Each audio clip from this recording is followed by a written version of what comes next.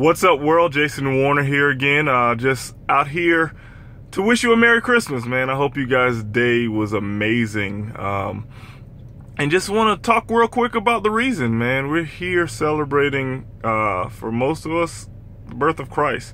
Whether you think it was today or some other day, but this is what the reason for the season is, and to really talk about his his mission and push for love we have to love one another. Uh, we're not gonna make it without loving one another.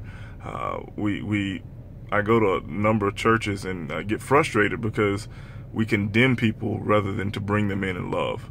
Uh, God, Jesus never said hate your neighbor, hate your gay neighbor, hate your Muslim neighbor, hate your Jewish neighbor, hate your drunk neighbor, your abusive neighbor, your drug abused neighbor he only talked about love. Um, we have no capability of condemning.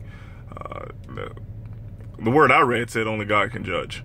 Uh, so let's let's let's start loving this year, 2016, man. I, I pushed the pushed out the mantra for the new kings, man. I, hopefully, we all can just start loving one another uh, and, and and embracing one another. That doesn't mean you have to participate in someone's lifestyle or condone someone's lifestyle uh, but you don't have to condemn them. That's not your job here. Your job is to, to, to bring them in and love them.